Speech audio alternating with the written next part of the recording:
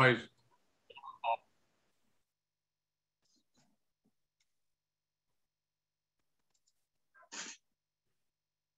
Uh, might, we just got that meeting is being recorded message. Looks like they might be getting ready to get started. I don't know. Unless that's just Joe taking care of business. Hey, Will.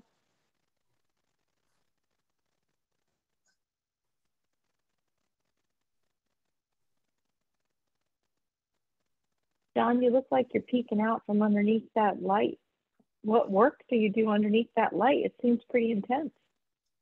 Well, I uh, my eyes are not as good as they once were, so I find that I, even with a computer, I need some extra light. Gotcha. I'm with you, John.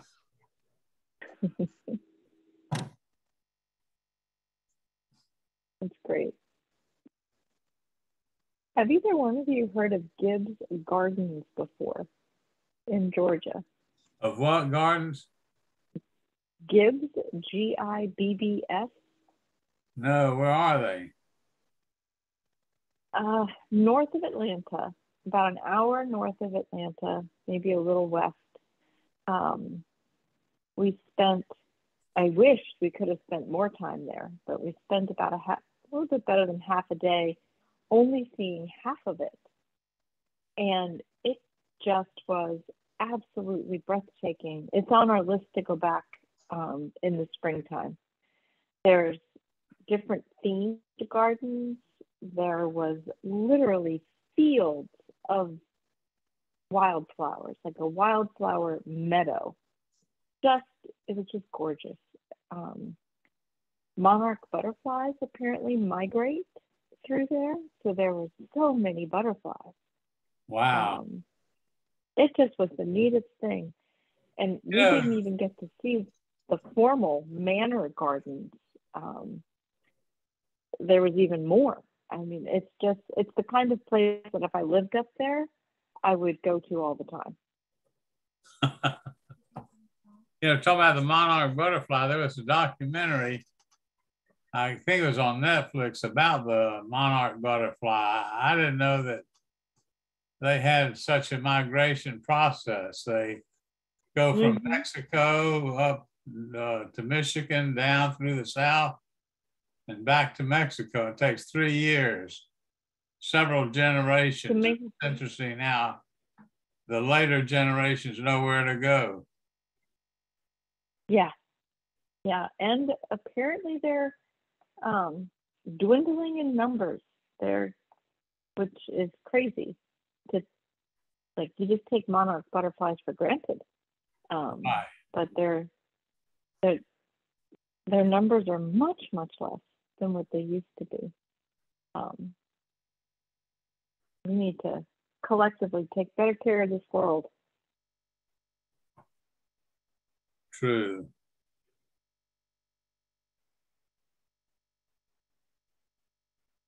Well, I'll bet you today's speaker is going to generate some lively discussion. Yeah, think? Oh, here comes Ike. Good seeing you guys. Talk to you later. Well, maybe we got a few more minutes. Maybe. Uh, Gigi, there was another garden on, uh, uh, called Callaway Gardens. I don't know whether it's still going or not, but its big deal was Christmas. They Hmm. decorated the hotel with a jillion Christmas trees. And people used to, to, to book the hotel just to go see that stuff. Now, the grounds are gardens. So, I mean, not like what you're talking about, but a little different thing. Uh, that's also where the FSU circus used to uh, winter or practice or whatever you. Uh, I haven't looked that up in a while. You might look that up if you're interested in that kind of thing. That's I think they're that's here in open. Florida. It's in It's- Alabama. It's close to Alabama. It's it's a hike. Hmm. Well, I've got a mother-in-law in Alabama that I'm hoping um, she's she said it before, so it's one of those I'll believe it when everything is signed on the dotted line. Um, but she's supposed to be meeting with a realtor coming up this weekend and putting her house up on the market and moving to Jacksonville. Um, we're very excited about that, but that also means some trips out to Birmingham to help her. Um, you know, prepare, get ready, whatever, whatever she needs to be able to uh, to move here. So maybe we make that part of the trip if we're going out that far anyway. I'm going to look that up. Well, you might look it up. It's a neat place. Awesome. Thanks for sharing, John. It's in Pine Mountain, Georgia. I was just Ooh. looking up. All right. Pine Mountain. Hmm. Where I grew up in New Jersey, there was a little area called. Pine Mountain. Up. Southwest Georgia. Oh, that could clearly be on the way to Birmingham. I believe it is. Okay, they're fussing with the mic. Well, it was lovely to talk to you guys. Continue to do well. Have a great week. If uh, Same to you guys. I got a feeling, I got a feeling we're about to get cut off. I think so. All right. Well, you all take care. Bye bye.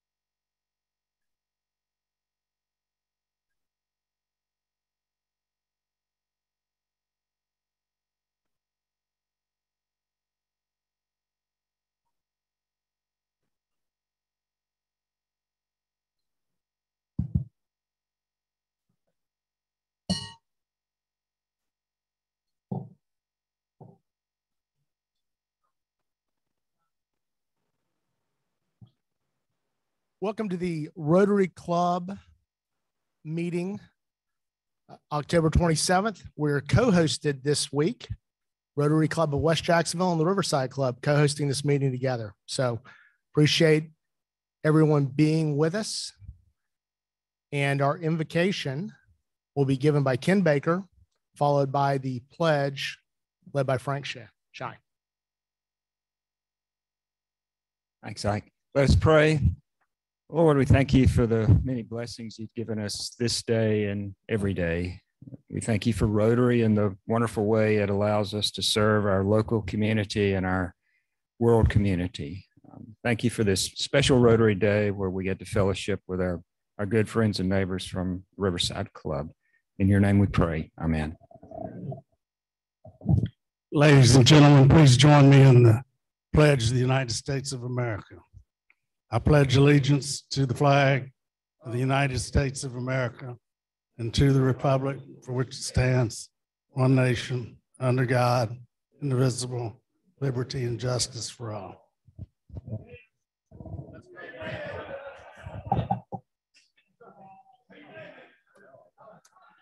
And so it begins. Some uh, general house general housekeeping. Um, I am I am wearing my school colors today. I'm a graduate of Troy University. I'm not a bulldog. So don't sleep on Troy. That's what they keep kept telling me. Don't sleep on Troy. Um, I think because I slept through a lot of classes, but maybe that's not the point. Don't sleep on Troy. Uh, really want to welcome our, our guest today, the co-hosting the meeting with us, Riverside Club. Really happy that you joined us today. This is always a fun event and a fun day. Um, a little bit more housekeeping. You probably can't see this, but somebody left your glasses at the sign-in table. You can just get with me after the. Yeah, thank you. Thank you very much. I'll be here all week. Uh, the big red bus is outside uh, right now. So uh, seldom do we get a chance to save a life. Go out and donate blood. We'll excuse from the meeting go out and donate blood. Uh, already brave the line out there this morning. So, very special program next week. Past Rotary President, past Rotary International President John Germ, current trustee, he is going to be presenting to us via Zoom. He'll be the program. Uh, very few times in our Rotary careers can we hear a past Rotary International President, current trustee, presenting to a club. So, everyone please uh, Zoom in next week or join us live. One other announcement there are 14,859 streets in Duval County, and our own Marshall Butler has already run over 5,000 of them. So we, uh, we cheer him in on in his quest to run every street in Duval County. And um, a toast to Marshall.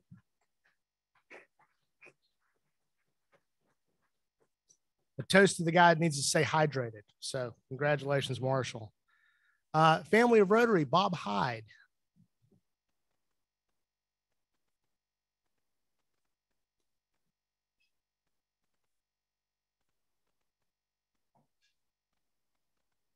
A short report this week. Uh, three uh, Westside Rotary birthdays to report today. Past President Dr. Dan Dodd today. Happy birthday, Dan. Tomorrow, the 28th, Rodney Butler. And on Sunday, Halloween, Jackie Culver. Those are our birthdays. As mentioned last week, please keep the Chapman family uh, in your thoughts uh, and prayers. Uh, just a quick note about uh, former RI President John Germ. Many of you remember that uh, through the great work and contacts of past District Governor Marshall and uh, incoming President Sean, uh, John Germ uh, spoke to us at the 50th anniversary celebration of this club. So um, it's, it's doubly good to have him coming to talk to us again. Um, uh, final item, the, uh, this week's uh, Marty Sack Memorial Joke. these are wonderful church bulletins. Thank God for the church ladies with typewriters. These sentences actually appeared in church bulletins or were announced at church services. First, the sermon this morning, Jesus walks on water. The sermon tonight, searching for Jesus. Ladies, don't forget the rummage sale. It's a chance to get rid of those things not worth keeping around the house. Bring your husbands. Next Thursday, there will be trials for the choir. They need all the help they can get. The ladies of the church have cast off clothing of every kind. They may be seen in the basement on Friday afternoon. and a couple of final ones. The low self-esteem support group will meet Thursday at 7 p.m. Please use the back door. Weight Watchers will meet at 7 p.m. at the First Presbyterian Church. Please use the large double door at the side entrance. this concludes my report. President.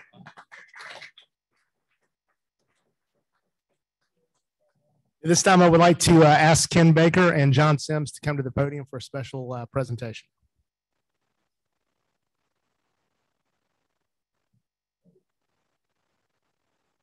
Hey, John. Um, happy to announce that John has earned his blue badge. He um, no longer is a rookie Rotarian, and uh, I'm pleased to give it to him today. Uh, if you haven't met John, I'm sure you probably have. He's he's been here just about every meeting and always out greeting people. So uh, welcome, John Sims. Thank you.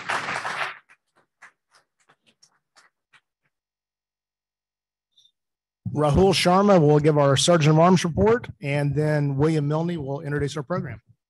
Thank you very much, President Ike. Rotary just got stronger today with John Sims' induction into our club. John, congratulations. How about another big round of applause for John Sims?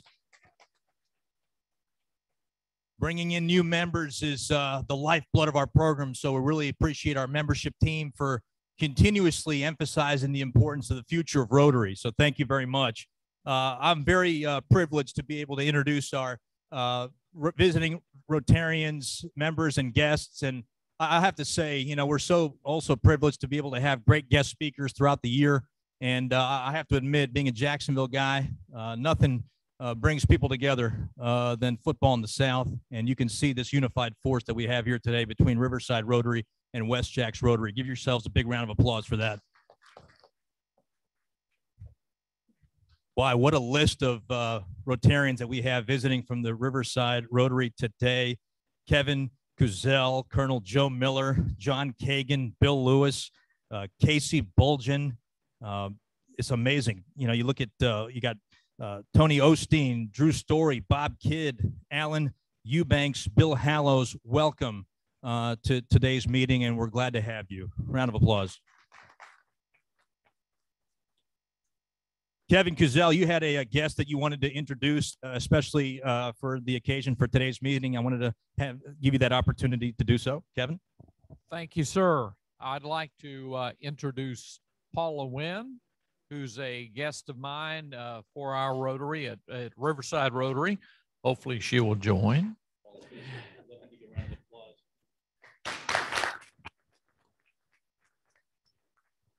And also, I've got former councilman, city councilman John Draper here with us. And and John is also a Navy veteran. Thank you. Thank you, Kevin. John, thank you for your service. Paula, great to have you here. Please keep Rotary in mind for your future. Judge Del Wallace, we're so glad to have you back, sir. Back where you belong here at West Jacks Rotary. And you have a guest here today, Judge. I do. I'm happy to have my guest here today, Tom Snyder. Uh, he's my uh, my brother-in-law, married my uh, na- sister Nancy, and Nancy and Tom lived in Orlando and most recently Indianapolis. But Tom's a long-time Rotarian. He comes to us from the uh, uh, Rotary Club of Indianapolis. He is an executive with the ATO Foundation, which is the national headquarters of ATO fraternity. And Tom's in the foundation development part of ATO. But anyway, he's they moved to Jacksonville and they're looking for a Rotary home. And Riversiders, you know, not for you guys. Okay, let's hope. Let's, but that's uh, yeah. But uh, anyway, we're, we're, glad to have Tom down here, and he's a really rock rib, solid Rotarian. So I hope we can welcome him here. Thanks very much. Wonderful. Welcome, Tom. What an introduction. I figured I'd go ahead and set the mood for today's main event. I know many of you want to hear from Rick Catlett, and we'll get to him in just a moment. But I figured every single week, the Rotary West Club of Jacksonville puts such high expectations on me to tell jokes. And so I figured today, not only am I going to tell jokes, I'm going to bring some energy, and it's going to be centered around the theme of football. So here are the top five football jokes of the day. Number one Why was the tiny ghost asked to join the football team? They needed a little team spirit. Number two, why are centipedes not allowed to play football? You know, it, it, takes a little bit too long to put the cleats on them. A lot of feet on a centipede. So that's why they're not allowed to play football. Number three, what happens to football players when they go blind? They become referees. They become referees. Which football player wears the biggest helmet? Which football player wears the biggest helmet? Well, of course, the one with the biggest head. And that would be me. And number five, why are college football stadiums always so cool? Because they're full of fans. And thank God we have gotten to this point in our country that we can bring fans into stadiums and pack the place because college football is meant to have fans. And guys, give a big round of applause for bringing fans back together post pandemic. And here we are in this situation, and we're bringing fans back together. Georgia versus Florida. We're setting the mood, we're setting the tone. Dogs, Gators. Before we get to Rick Catlett, here's William Milne to introduce our guest speaker. William. Thank you, sir. Fellow Rotarians, before I introduce my good friend Rick Catlett, will Ed Lombard, will you give us an update on the football pool?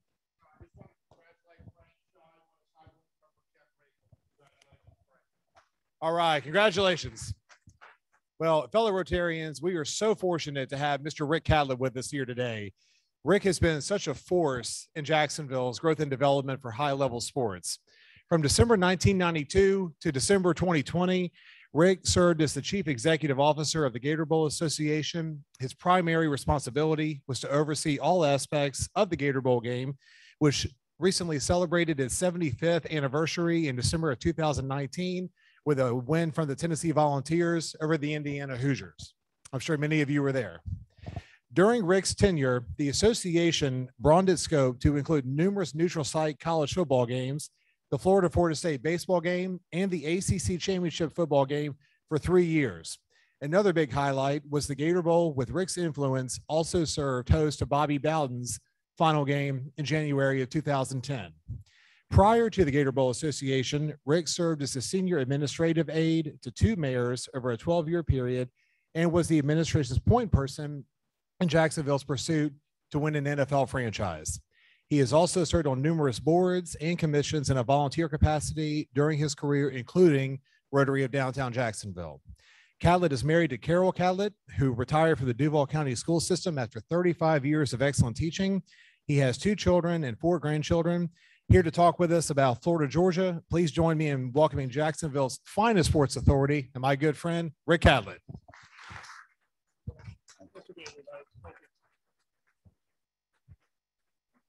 Thank you. How do you give a talk about Georgia, Florida? Well, I thought I'd open up by kind of giving you an idea of uh, my relationship with that game uh, and uh, that stadium over there.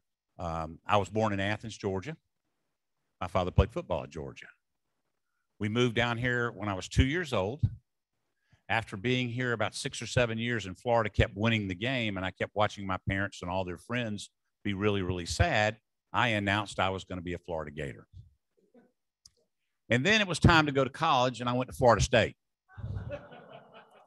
so I figured something out while I was at Florida State majoring in government. If you were born in Athens and you can cover all the Bulldogs in town, and if you went to Florida State, and you can cover all the Seminoles in town, and you're a diehard Gator, you probably ought to go into politics. So that's how I got into politics. Um, it's funny, but if you go back uh, in the early days, um, my father was the president of the Georgia Bulldog Club here uh, for a couple of couple of uh, terms, and uh, I used to have to get up at seven o'clock in the morning and go down to the old Robert Meyer Hotel and listen to 2,000 Bulldog fans drinking Bloody Marys and screwdrivers and barking at the moon. Now, I missed all the Gator stuff because Dad would never go until Dick Stratton, and many of you may remember Dick Stratton came along. Dick Stratton was the founder of the coaches um, show. Whoops, show the next day after the after the games on Saturday night. So he took me down to Gainesville, and I got to watch the show and all that kind of stuff. But I never got to go to any Gator tailgate parties, obviously, during that whole period of time. So in 1983, the mayor put me in charge of sports development for Jacksonville. And I got to start my own tailgate party with the people that work down there. And we would start on Friday afternoon about 4:30, and we would finish on Sunday morning about five or six o'clock in the morning. Amazing how many fifths of Jack Daniels people could get into that stadium back in those days.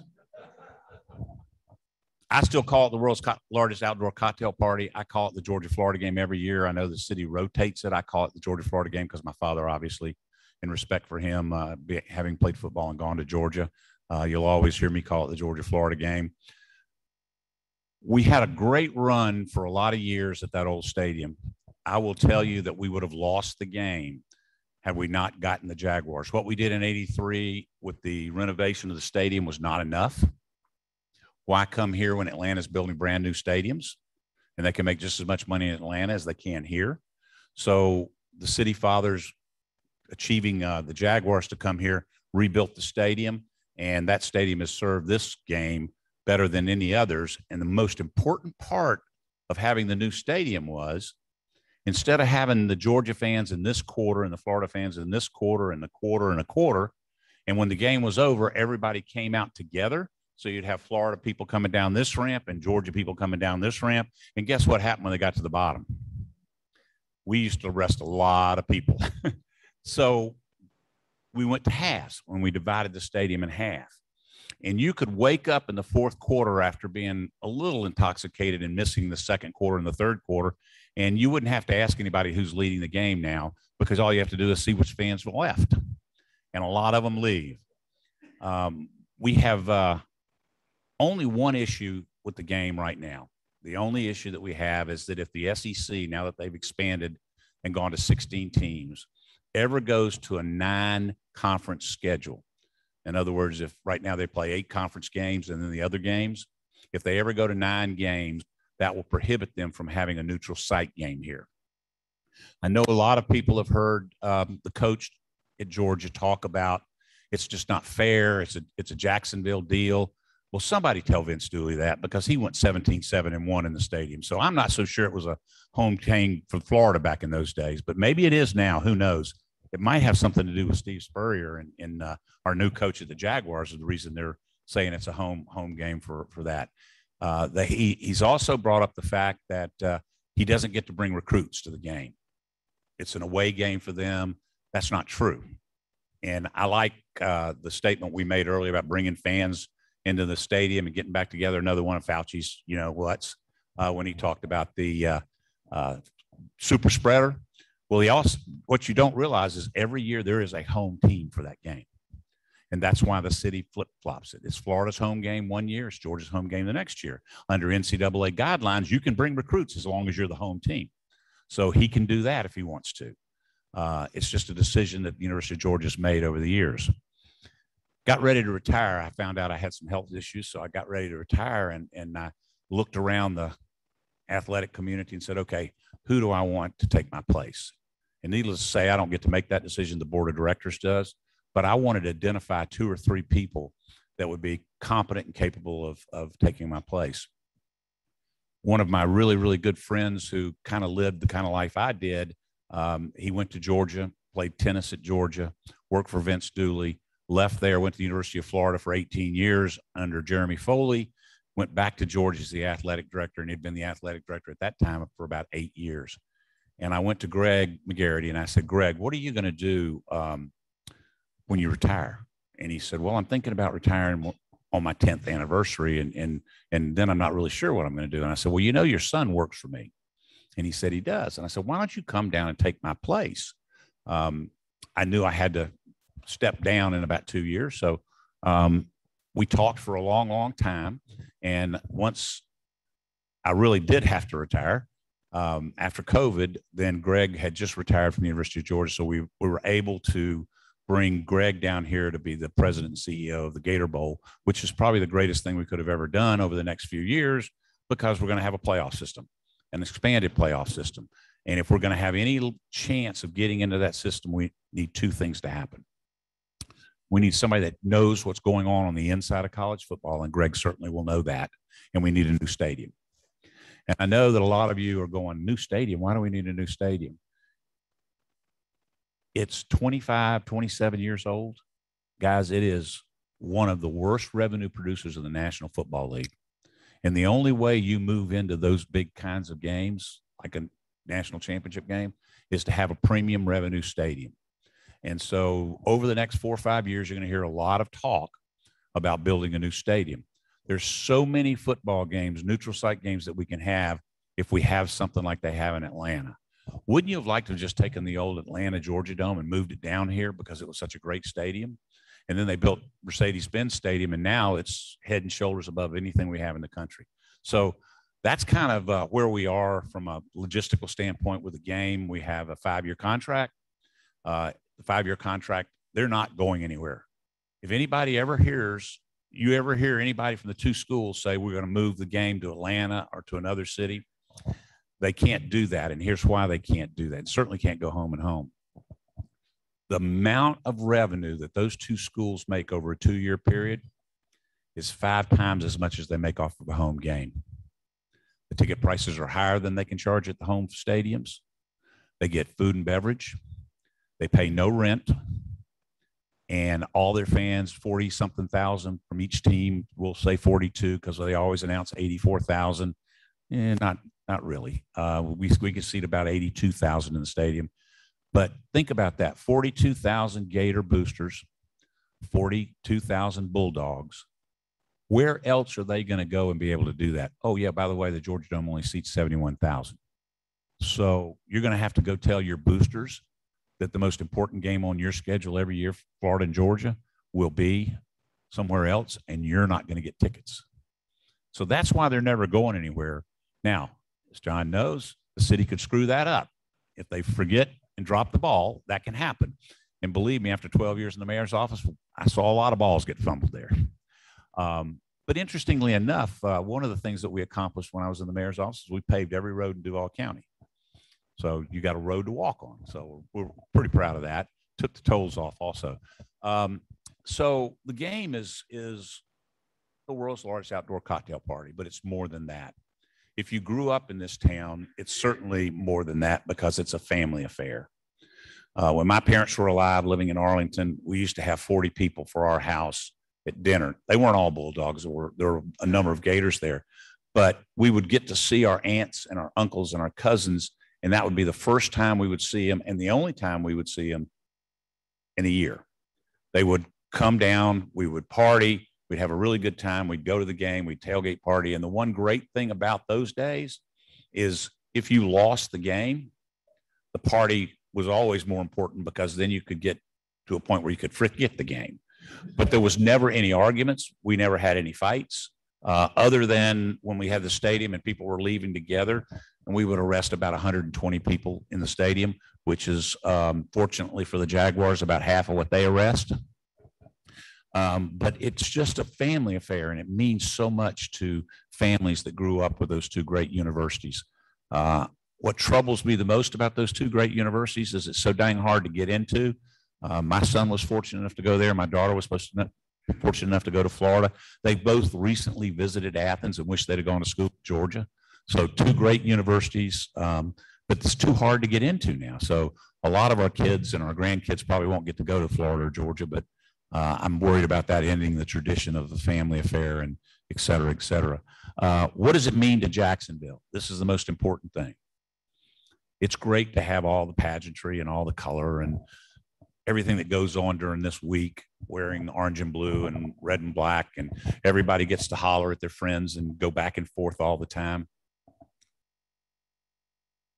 84,000 people, 52,000 of them from out of town. 52,000 of them have to have a place to stay. We got 24,000 hotel rooms in Duval County, 24,000 full hotel rooms Friday night and Saturday night, at triple the normal daily rate. And I saw something the other day that they said uh, it means 700,000 to the city of Jacksonville. If you just run the numbers, that's $15 million spent directly into our economy, which goes through the economy two and a half times before it leaves. So the value of that game to Jacksonville is the biggest weekend in the whole year. Now, some people will talk about the Players' Championship because they're here for four or five days.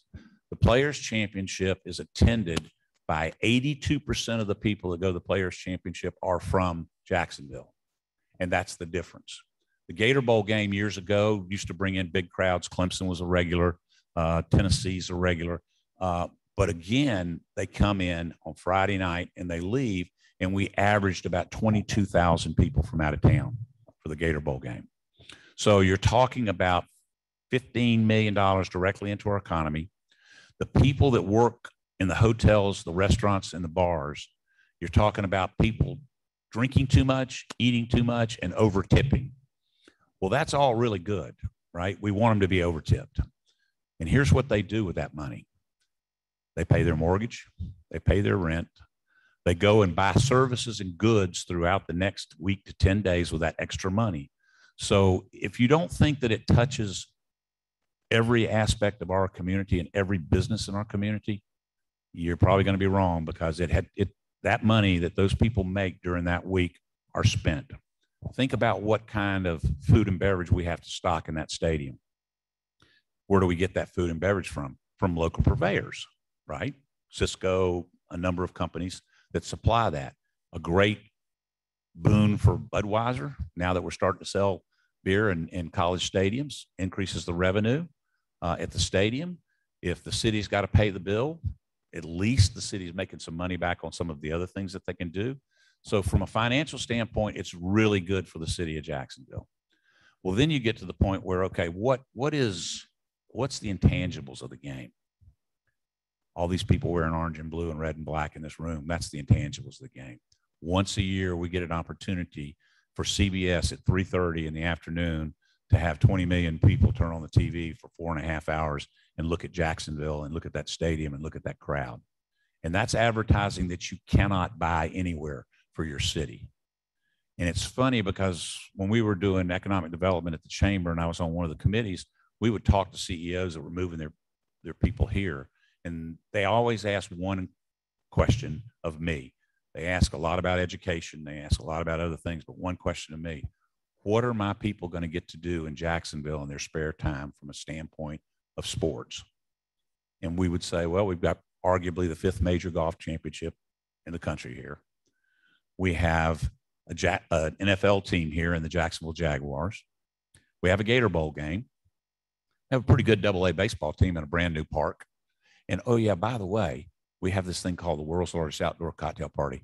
And they immediately would look at me and go, I want to go.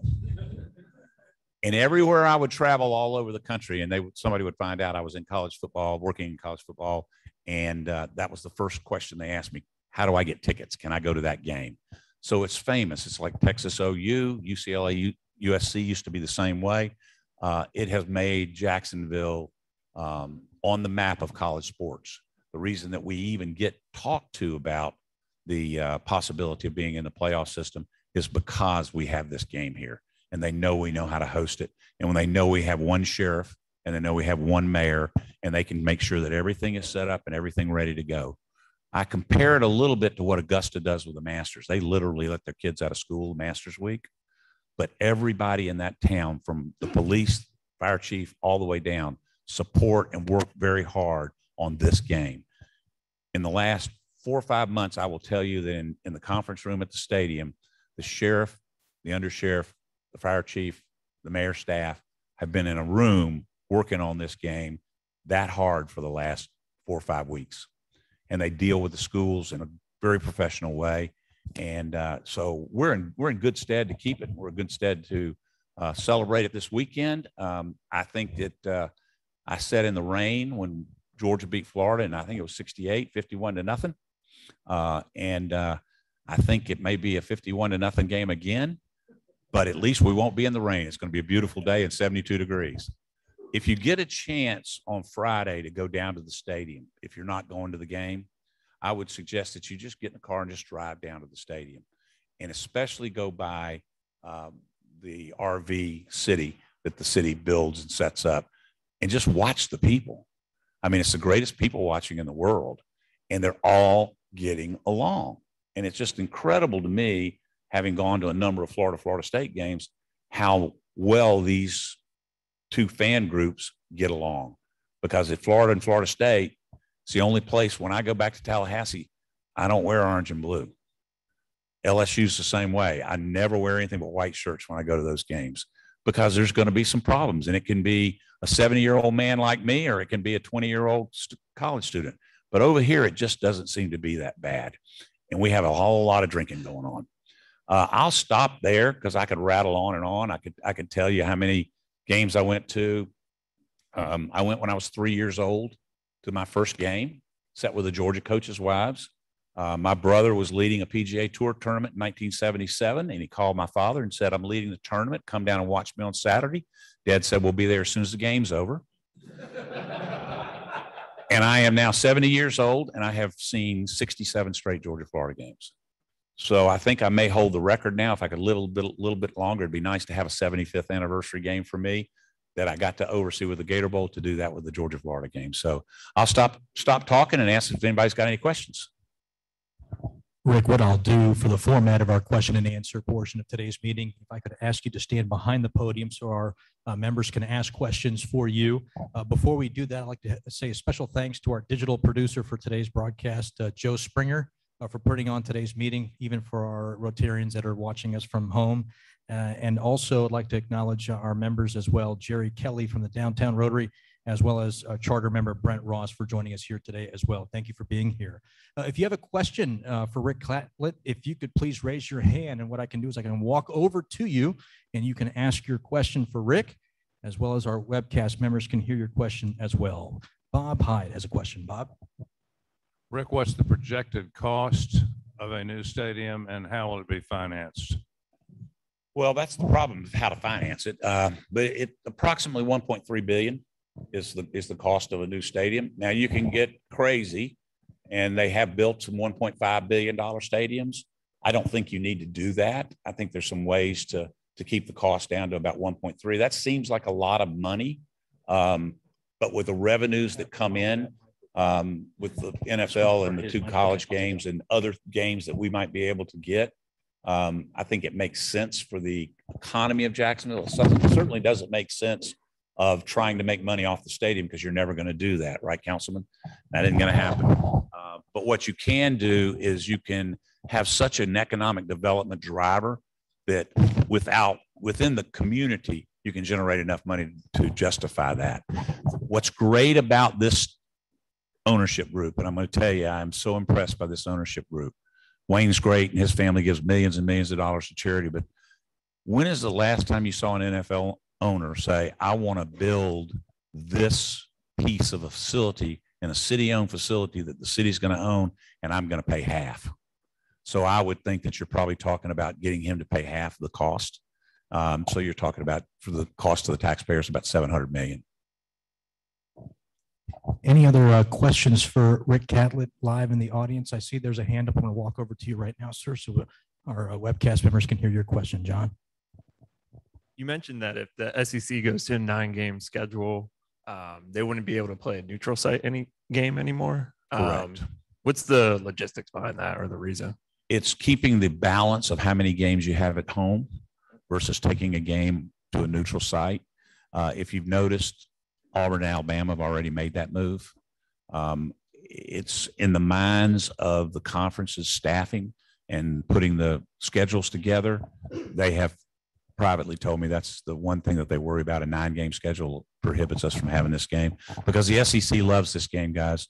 It is a premier game on national television for the SEC because everybody in there can chant SEC.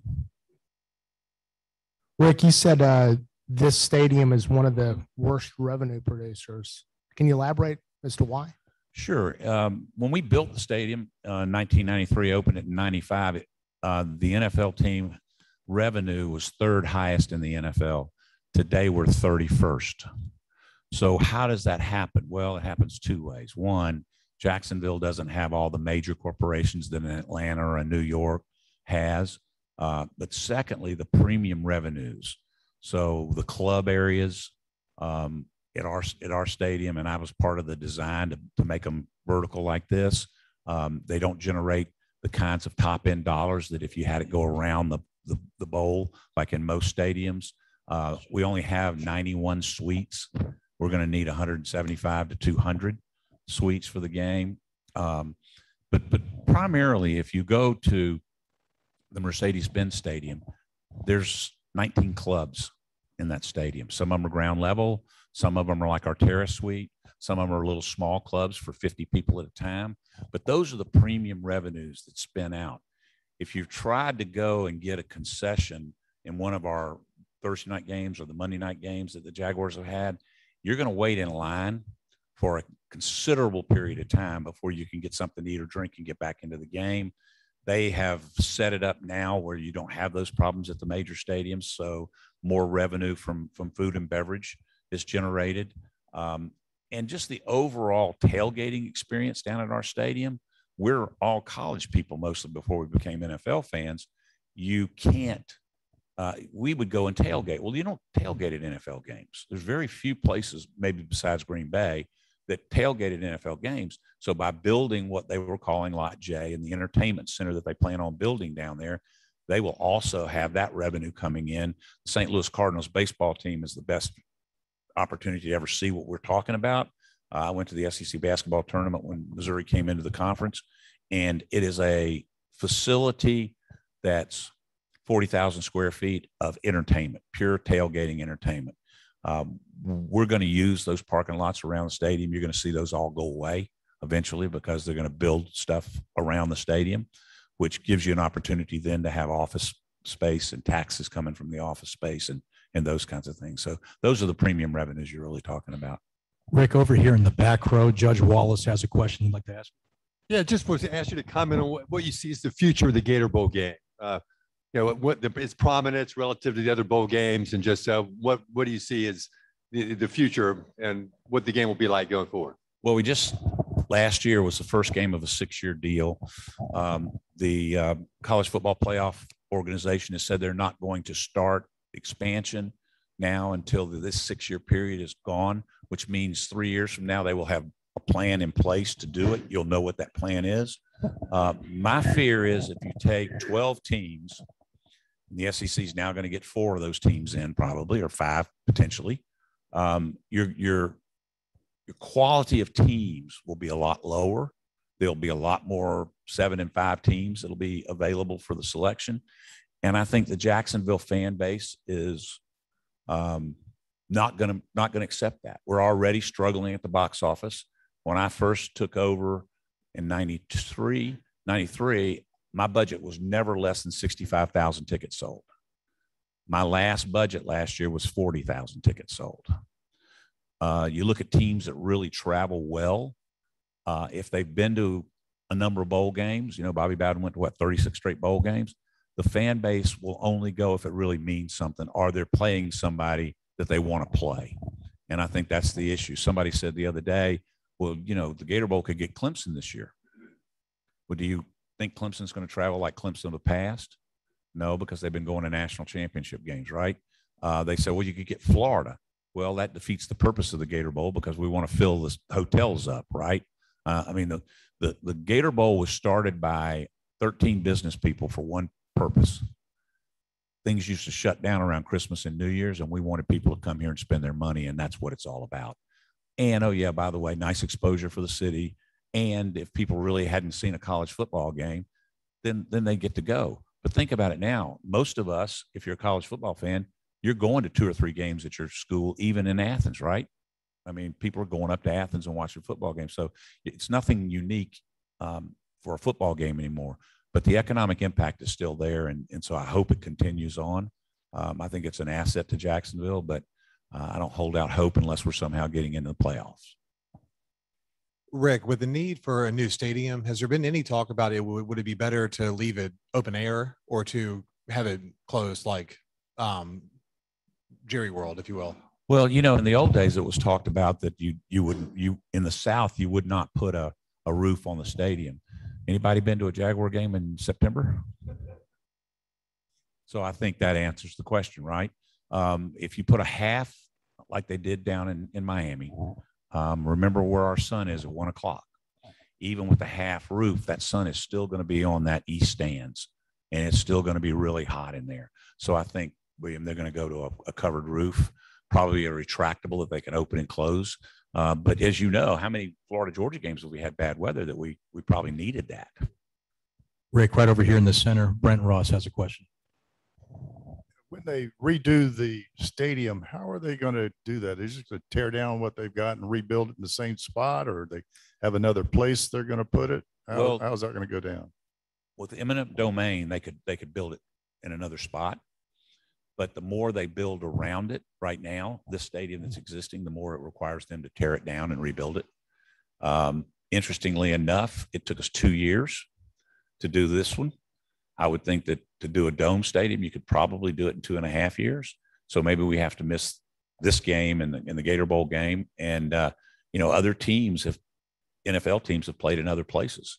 So does the Jaguars go down and play in in uh, Orlando or um, you know some of them play another. I mean, we just had our the the Saints come over here and play a game.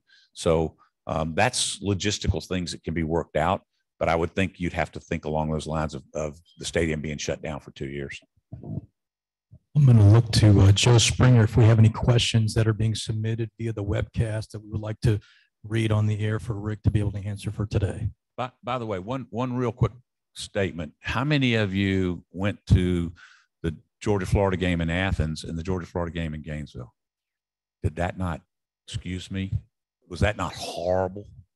And and I mean, you would think you you would think I'm a you know I'm a Gator. You would think I would have really enjoyed all those Georgia fans leaving Sanford Stadium, but but I have to tell you, it was it was just another football game, and that's why it's special when it's at a neutral site. Rick, we have a uh, compliment received on your behalf uh, from our member Alton Yates. He says, "My friend Rick Catlett is and has been one of Jacksonville's greatest assets." Period. Alton Yates. How about a round of applause? Thank you that? very much. I appreciate it. President Ike, I'm going to uh, Go Gators, by the way. There- There you go. Oh, wow, interesting. President Ike, I'd like to uh, send it back over to you. Uh, What a great presentation today from one of Jacksonville's finest, Rick Catlett. President Ike. Thank you, Rick. Really appreciate you being here today. Appreciate uh, the Riverside Club co-hosting with us. I'd like to call Joe Eberly up uh, to lead us in the four-way test while Joe's making his way up. Uh, remind you that past Rotary International President John Germ will be our presenter next week. Uh, please RSVP. And um, if you lost your glasses, see me after the meeting. I have them. Okay, if you repeat after me, our four-way test, the things we, things we think, say, and do. First, is the truth? Second, is it fair to all concerned? Third, will and better friendship. And fourth, beneficial to all concerned. Thank you, Joe. And our, our quote today, and sticking with the football theme, is from uh, longtime Pittsburgh Steelers coach Chuck Noll. Good things come to those who hustle.